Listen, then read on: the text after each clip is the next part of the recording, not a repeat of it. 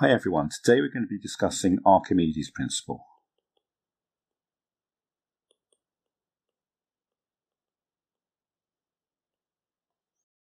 So we're considering, say, a column of water or some other fluid with perhaps some sort of object occupying a volume V within the liquid. The pressure BP and the density rho, each of which can vary with position.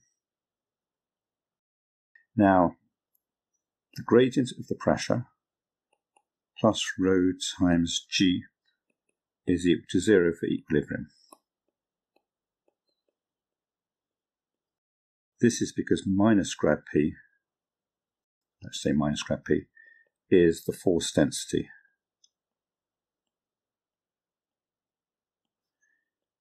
due to the pressure. And rho g is the weight per unit volume.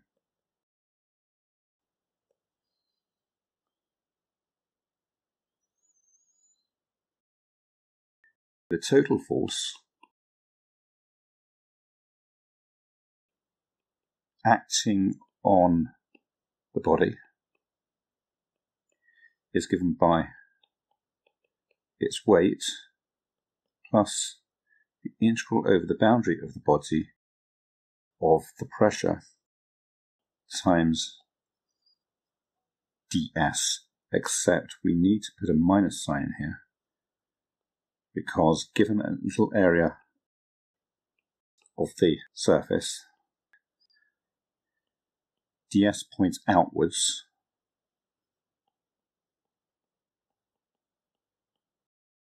whereas the pressure gives rise to a force in the opposite direction, so it goes in that direction.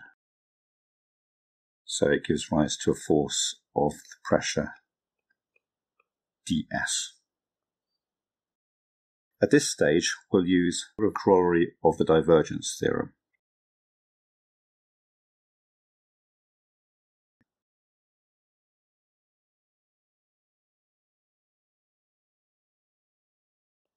So take vector A to be the integral over volume of the gradient of phi dv minus the integral over the boundary of the volume of phi ds. Then A is independent of position, so I can look at A squared that's the integral of a dot grad phi dv minus the integral of phi a dot ds.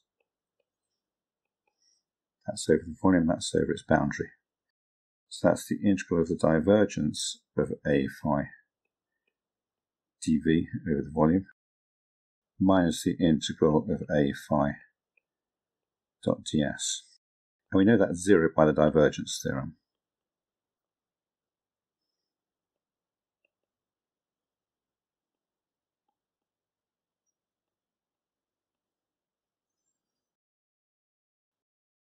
Therefore, a squared is 0. That implies a is 0. So the integral over volume of grad phi dv is equal to the integral over the boundary of phi ds.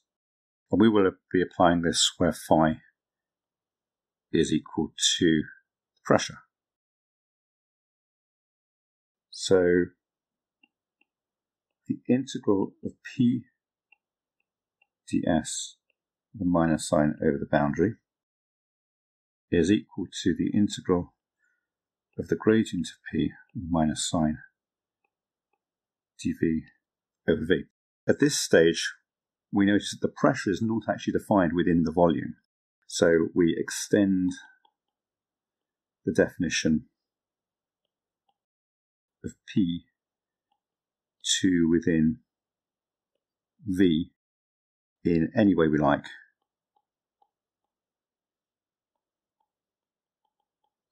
So long as P agrees on the boundary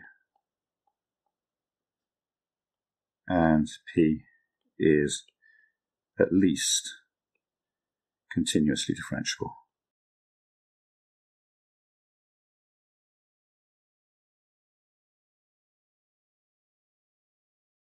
So the total force acting on the body is mg, the weight as we said,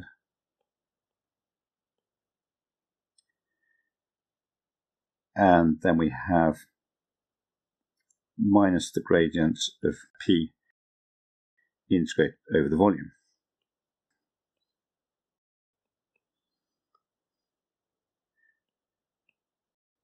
But We know that that's equal to the integral rho times vector g dv.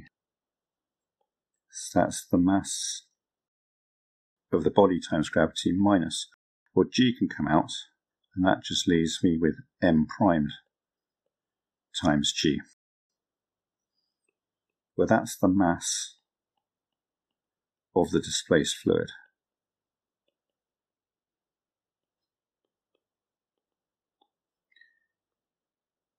So the force is equal to the weight minus the buoyant force.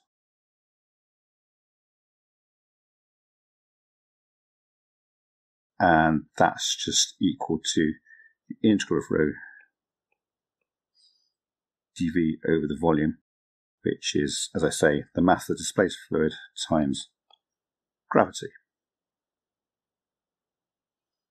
And there you have it. That is Archimedes' principle.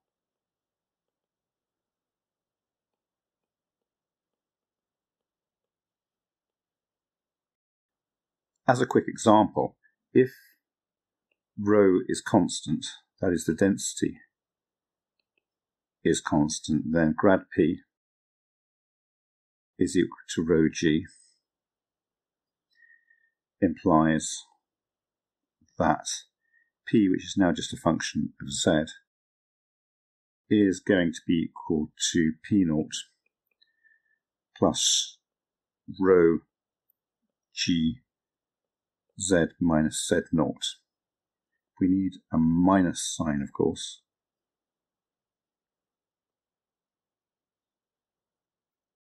Because that's equal to minus rho times scalar g times the vector ez.